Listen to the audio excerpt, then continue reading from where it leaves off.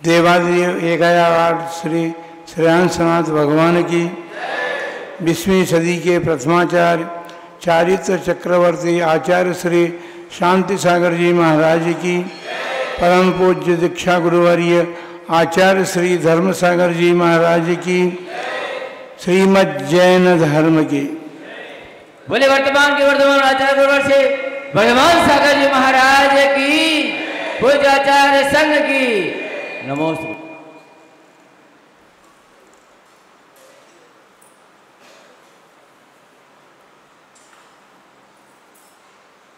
जिन पंजगों का शासन जैन शासन कहलाता है।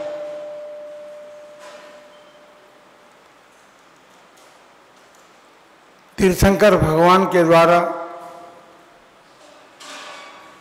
जो शासन प्रकट हुआ है, उस शासन में रहकर सभी जीव अपना कल्याण कर सकते हैं, करते हैं।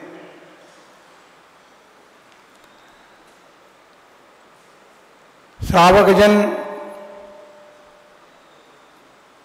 श्रद्धावान होते हैं, विवेकवान होते हैं और क्रियावान होते हैं। देव शास्त्र गुरु के भक्त होते हैं और अपने जीवन को ऐसा बनाते हैं जिससे पाप का बंध न हो। उनके मन में सदा ये भावना रहती है,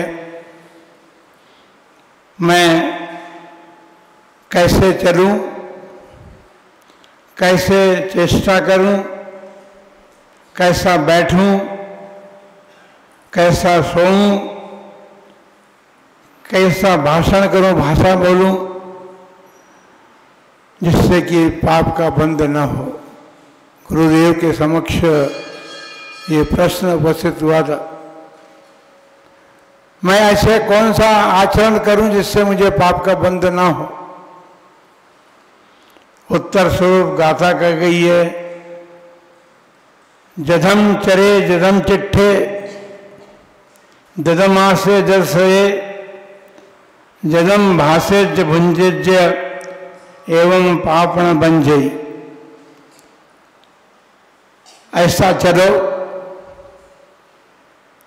ऐसी चेष्टा करो, ऐसे बैठो, ऐसे सो ऐसी भाषा बोलो और ऐसा भोजन करो जिससे कि पाप का बंध न हो।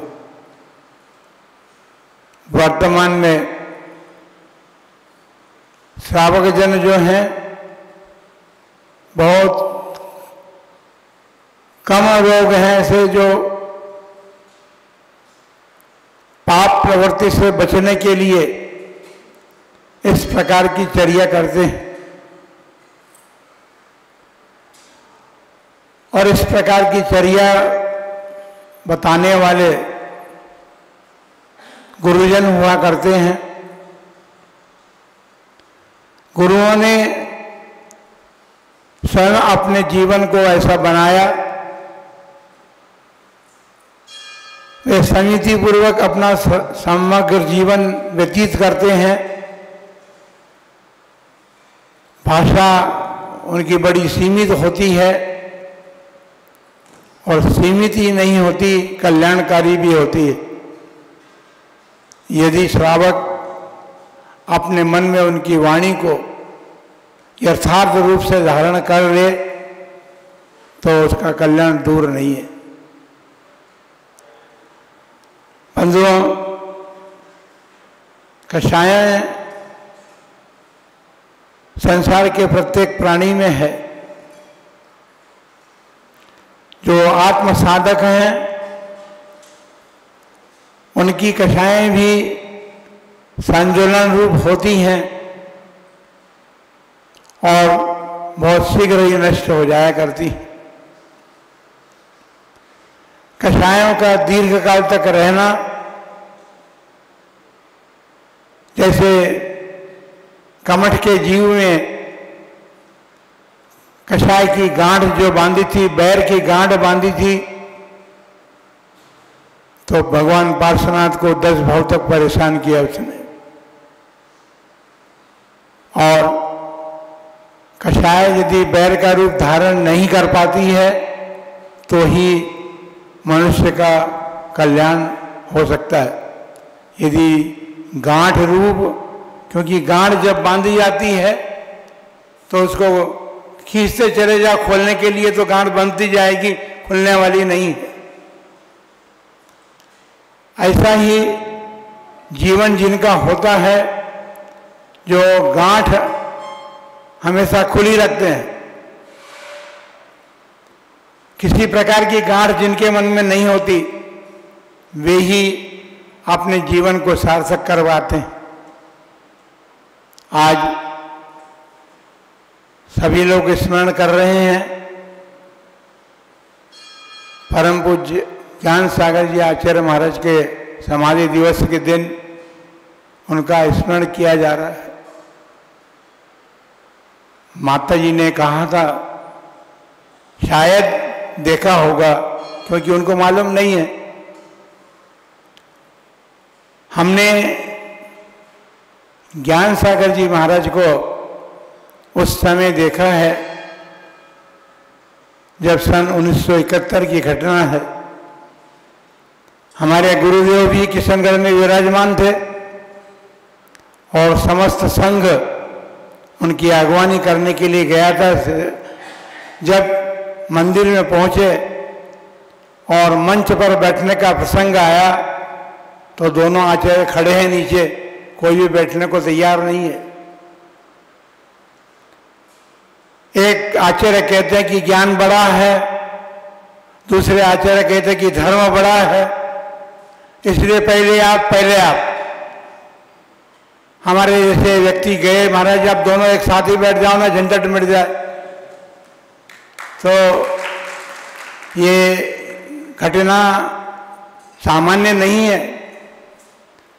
आचार्य श्री ज्ञान सागर जी महाराज के मन में, आचार्य श्री धर्मसार जी महाराज के प्रति जो भक्ति थी, उस भक्ति का यह प्रकटन कर, प्रकटन करना था। उन्होंने सत्रह दिन तक किशनगढ़ में रह करके और आचार्य संघ के सानिध्य में, आचार्य ज्ञान सागर जी महाराज की उपस्थिति में आचार्य विद्यासागर जी महाराज ने पंचास्त्री का ग्रंथ का वाचन संघ में चलता था, उसको उन्होंने आगे बढ़ाया और आचार्य श्री ज्ञान सागर जी महाराज के ज्ञान का सदुपयोग जो है, सारे संघ ने किया। उनकी ज्ञान की महिमा अलग प्रकार की थी। वे न्याय के भी विद्वान थे, व्याकरण के भी विद्वान थे उन्होंने काव्य की विधा को भली प्रकार समझा था और विद्वत अवस्था में, जब वे भूरामल जी की अवस्था में थे, तभी उन्होंने वीरोदय, जयोदय आदि काव्यों की रचना कर दी थी। क्षुल्लक दीक्षा लेने के बाद तो बहुत बड़े बड़े ग्रंथ तो उन्होंने नहीं रचे, लेकिन छोटे छोटे ट्रैक्टों के माध्यम से उन्होंने ज्ञान, अपना ज्ञान प्राप्त किया था, उसको सब लोगों को देने का प्रयत्न किया। जीवन के अंतिम क्षणों में उन्होंने भगवान कुंद कुंदाचार्य देव रचित समयसार ग्रंथ की, जो जयसेनाचार्य ने संस्कृत टीका की थी, उसकी टीका, हिंदी टीका उन्होंने की, जिसका कि आनंद पढ़ने वाले लोग अवश्य लेते हैं। समय सार एक ऐसी चीज़ है। समय सार के संबंध में बहुत महिमा गाई जाती है। लेकिन बीसवीं शताब्दी के प्रथम आचार्य श्री शांति सागर जी महाराज ने कहा था कि समयसार ग्रंथ अपने आप में महत्वपूर्ण है। लेकिन समयसार से पहले महाबंध का स्वाध्याय करना चाहिए, जिससे कर्म बंध की व्यवस्था हमें समझ में आए। हम किस प्रकार कर्म बंध करते हैं कर्म बंध से कैसे छूटते हैं, इत्यादि बातें उस महाबंध ग्रंथ में कही गई हैं। तो उन्होंने कहा कि पहले, समय सार से पहले महाबंध चाहिए। बात तो ठीक ही है, क्योंकि काव्य ग्रंथों में प्रधान युग के ग्रंथ थे और उनमें उन्होंने व्यक्ति विशेष का आधार बना करके उन ग्रंथों की रचना की थी ज्ञान सागर जी महाराज। व्यक्ति अपने जीवन को कैसा जीता है, किस प्रकार वह कर्म का बंद करता है और क्या करने से कर्म बंध से छूट सकता है, वे प्रस्वान योग की कथाएँ ज़रूर हैं, लेकिन प्रस्वान योग में ये सारा वर्णन होता है और वह वर्णन उन्होंने अपने ग्रंथों में पंडित भूरामल जी की पर्याय में किया। समय सार अध्यात्म ग्रंथ है और अध्यात्म का अधिकारी जो है चारित्र का परिपालन करने वाला होता है। जब उन्होंने अपने जीवन में परम पूज्य भस्माचार्य चारित्र चक्रवर्ती आचार्य श्री शांति सागर जी महाराज की परंपरा के आचार्य वीर सागर जी के शिष्य, आचार्य शिव सागर जी महाराज का सानिध्य प्राप्त किया। वे क्षुल्लक अवस्था में ही संघ में आए और उन्होंने प्रथम मुनि शिष्य बनने का सौभाग्य प्राप्त किया आचार्य शिव सागर जी महाराज से। किंतु ये बात अवश्य है कि वे ज्ञान के धनी थे, चारित्र के धनी भी बने,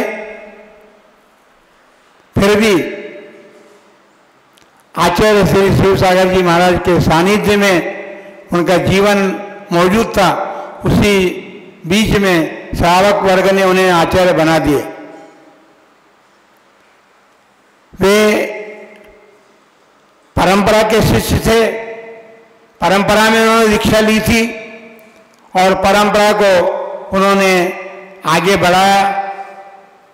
विद्यासागर जी महाराज को दीक्षा दे करके और वो परंपरा आगे चली है।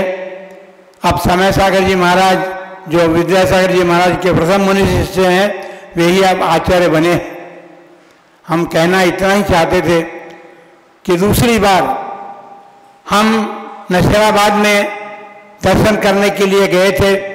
उस समय हमारे शिक्षा गुरु आचार्य कल्पसूर सागर जी महाराज के साथ हम गए थे।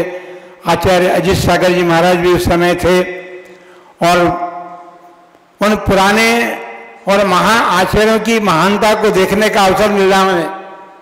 आचार्य कल्प सागर जी महाराज, आचार्य वीर सागर जी महाराज के अंतिम मुनि शिष्य थे।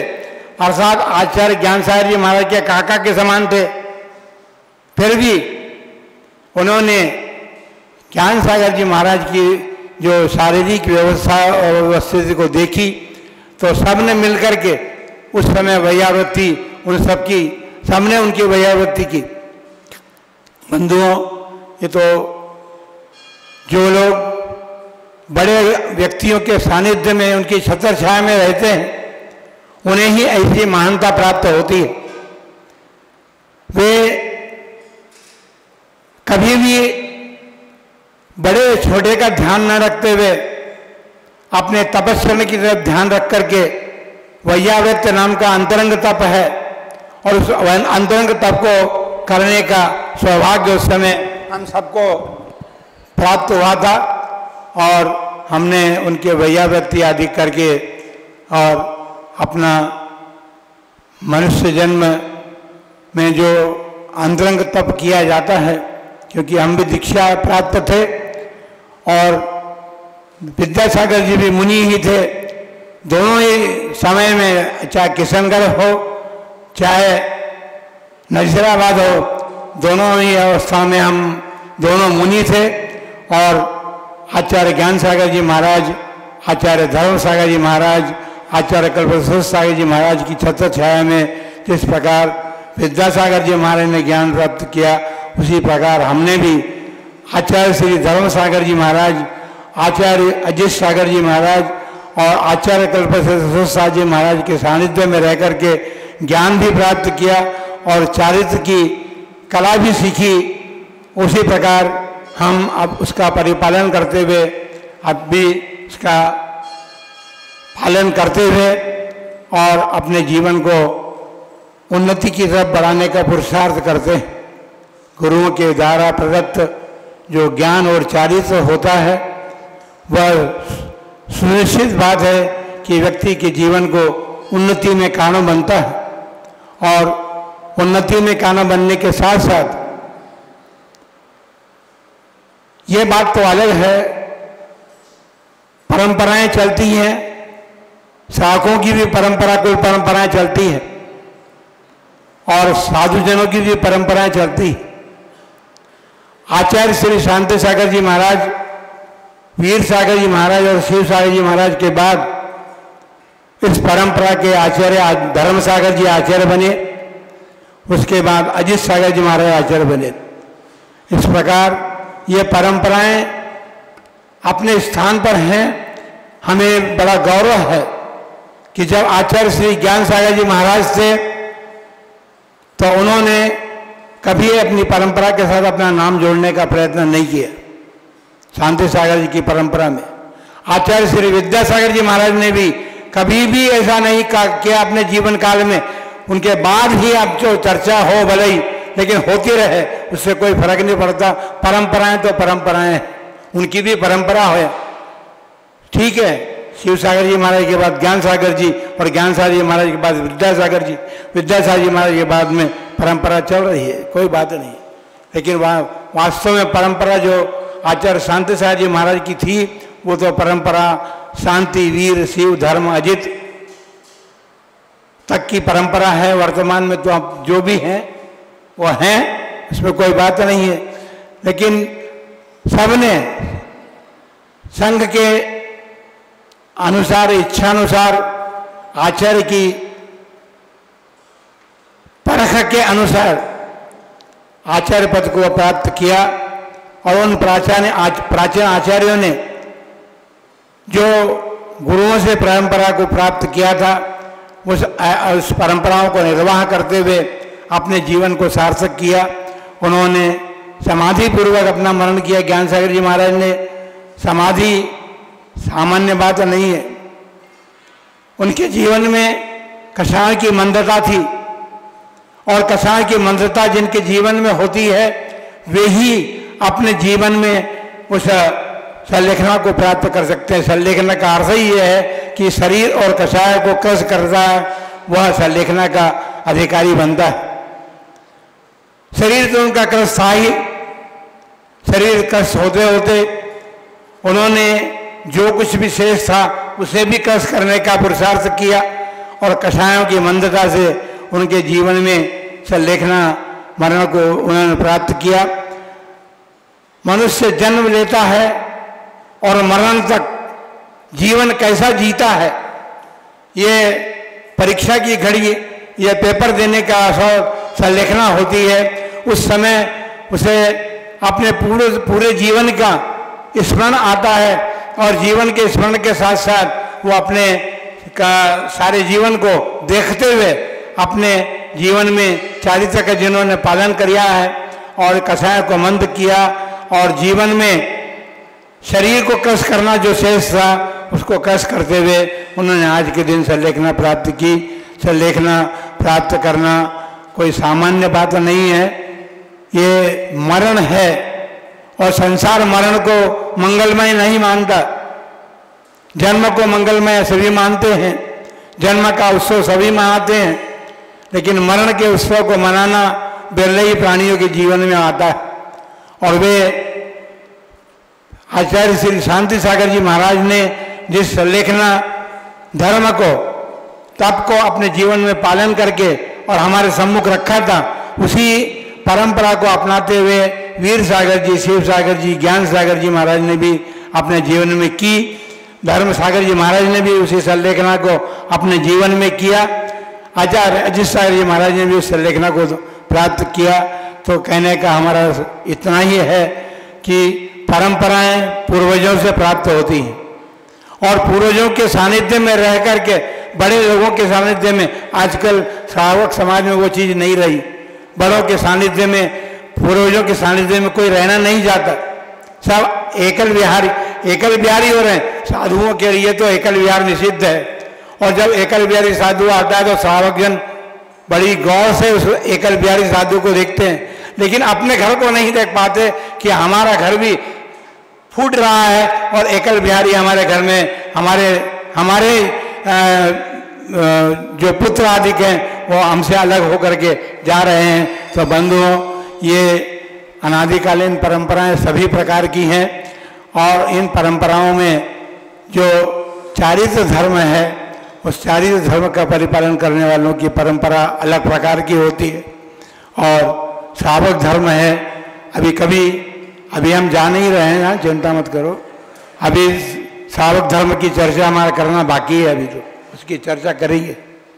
तो आज आचार्य श्री ज्ञान साहब जी महाराज ने समाधि मरण पूर्वक अपने जीवन का अवसान किया है। हम ये भावना करते हैं कि उन्होंने जिस प्रकार गृहस्थ अवस्था से लेकर दीक्षित अवस्था तक जिस प्रकार ज्ञान और चारित्र को धारण करते हुए और अपने जीवन का अंतिम समय से लेखना पूर्वक व्यतीत किया, सभी लोग इसी प्रकार अपने जीवन को जिए और अपने जीवन को जी करके अपने जीवन का अवसान कर सकें। हम सभी यही प्रार्थना करते हैं। श्रावक जन भी यही भावना करें कि हमें भी अपने जीवन में ज्ञान की प्राप्ति हो, चारित्र की प्राप्ति हो और हमारा जीवन भी, क्योंकि आचार्य श्री शिव सागर जी महाराज कहा करते थे कि भैया आड़े होकर के तो घर से सभी लोग निकलते हैं। मकान से, घर से, आड़े होकर तो सभी निकलते हैं, लेकिन खड़े होकर के जो घर से निकल जाता है, उसका जीवन सार्थक है, और ऐसा जीवन जो जी, बनाता है अपने जीवन को, उसी में उसके मनुष्य जन्म को प्राप्त करने की सार्थकता है। इन्हीं मंगल भावनाओं के साथ आचार्य श्री ज्ञान सागर जी महाराज के चरणों में विनम्र श्रद्धांजलि समर्पित करते हुए अपने बात को समाप्त करते हैं। जय बोलो आचार्य श्री शांति सागर जी महाराज जी की।